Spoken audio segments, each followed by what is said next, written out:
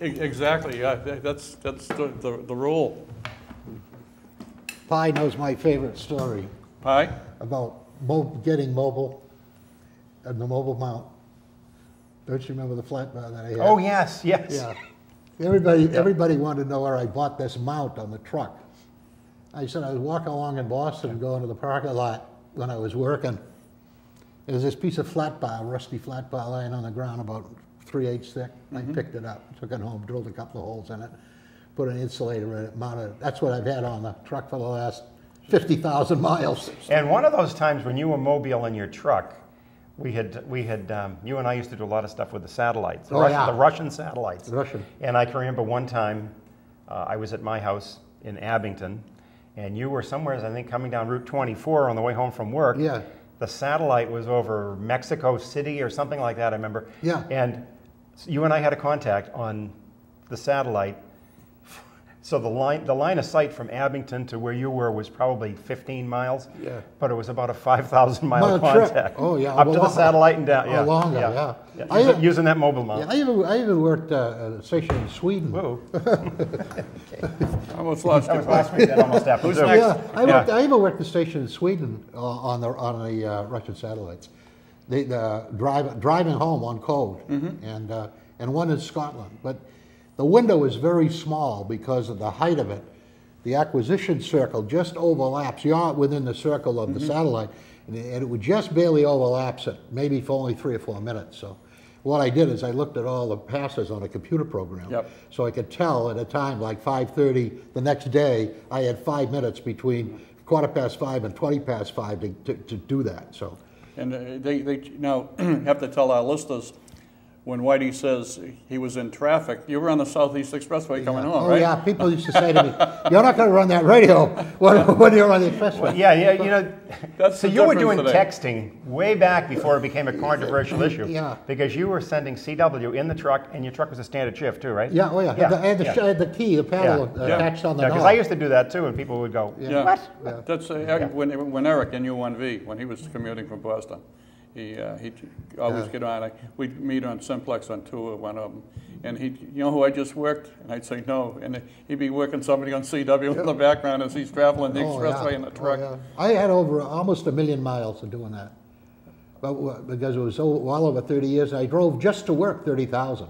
Yeah. So when you take the rest of it, it was almost over 100, over 200 countries I worked from the Yeah. so. Spe- Speaking of working and all that stuff, at the beginning, we were showing our viewers about the, the, uh, the lighthouses. Why don't you tell us about you and uh, Don uh, Tagway, uh, Oh. W1DT, and uh, what, Yeah. you- what you usually do Saturday mornings in Yeah. good weather?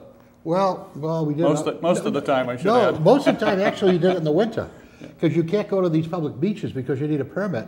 Most of them are near the lighthouse. Oh, okay. Most of it was done during the winter, right through January and all.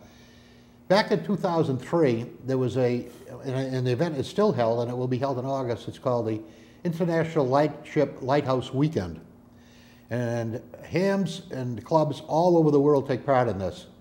There are probably 10,000 lighthouses worldwide. There's like 850 in, uh, in the United States. There's 89 in Massachusetts, including historics that aren't there anymore, and about 38 in, uh, in Rhode Island.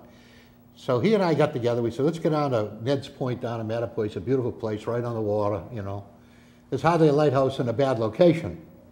So uh, we went down, we operated, but it was pretty primitive. We put a, we, had- we put a mast up, we had a, something we made out of two by sixes, we put the front wheel, uh, the truck on, and we worked uh, maybe 50, 60 stations. So they said, well, why don't we try to do this, you know, on uh, next weekend? So we started in, and all of it, we went to Rhode Island, went to places in Rhode Island that we never would have gone to by accident. It was, uh, and I mean, when you think about it, the lighthouses are all in great locations. A great ham radio thing to do on a Saturday morning, far better than watching Gomer Pyle reruns. So uh, from that, we went Massachusetts also. We even went all the way to Race Point. That's, uh, that's a two-hour ride, 120 miles, and uh, operated. But there are a lot more lights, and we, we activated 68 lighthouses, some of them more than once and uh, talked to people all over the world. I remember one time we were down in, and uh, we were in Mattapoisett at Ned's Point at another time. And the band opened, we worked a dozen Japanese, Hawaiian Islands, the Russians, all, all over the world. It was, all- it was all on code, but it was, uh, it was remarkable. But, uh, What were you running for power? on? 100, 100 watts. 100 watts. And a Yeah, single wire antenna. We found that if you, uh, the, uh, if you go to some of these places, if you think you're going to hang up a wire antenna, there's, there's no trees, there's nothing to attach it to. There's all kinds of tourists coming, like a Chatham light down the Cape. So you have to be self-contained. So now I made a wooden mount that goes in the back of the uh, trailer hitch, the square opening where you, you put the hitch in. And we have a 33-foot fiberglass mast that goes up. It tapers down almost nothing. It weighs three and a half pounds. Put a wire from that down to the mount on the and it's, and it's all been, we're all self-contained. And a little tiny generator, a little 1,200 watt generator. But it's uh, a lot of fun. And the thing that, that came out of it is kind of a bonus is I made friends with a lot of hams that I never would have met on the air, particularly this lighthouse. And they're a hardcore gang. I mean, they, well, one, one guy's worked over 400 lighthouses. They get QSL cards like this from almost all of them, you know. I see some of ours up here. Yeah, yeah, Yeah, yeah, they are, yeah. Yeah, the, uh, but it's fascinating, and primarily it was started to uh, promote what uh, lighthouses had contributed to marine safety, and, and to keep this in the public eye. And we've had more people come up, we had, had people come up, I ge- I had a DVD that, part of this one that you see, and we gave it out to some of the tourists, people wanted to give us money, Yeah, so, yeah, they get any money from anybody. Everybody, everybody, most people like lighthouses. Well, know- it's a romance about it. Well, I know And they have a history. Yeah, it, like when Pat and I go up through Maine, she, we usually go and visit uh, quite a few of the lighthouses up the coast, you know, just for day trips, Yeah, staying up there. But, yeah. but yeah, there- there's, there's really something about them, you know? Did you ever go to Ida Lewis in Rhode Island? No, no. That's, that's one of the stories that all the, all the ladies would certainly like. It was about 1860. Her father was the lighthouse keeper at Ida Lewis in, at, in Newport. He had a stroke. She was 18. She took over the lighthouse.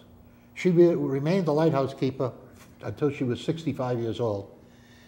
She saved 25 people's lives rowing out in storms or ships or boats were up on the rocks.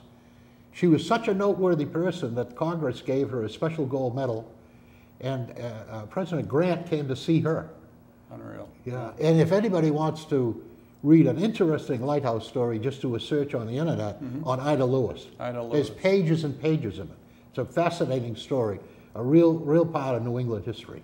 Well, So, it went quick, yeah, well, it always. but does. Ida Lewis, Yeah. just do a Google. Everybody's Googling today.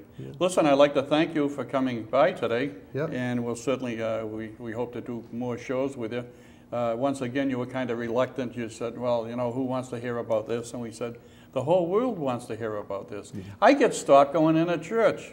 And I had one woman come up to me and say, aren't you the young man I seen? And I just thanked her and said a couple extra prayers for just the young man. Uh, no. so, uh, She had the wrong guy, right? yeah, she thought it was pie. Yeah. Well, Okay, that, that's, that's about it for now, folks. But uh, once again, if you, any, uh, anything you'd like to see, uh, have us get in contact with, uh, k1wn at aol.com, k1wn at aol.com.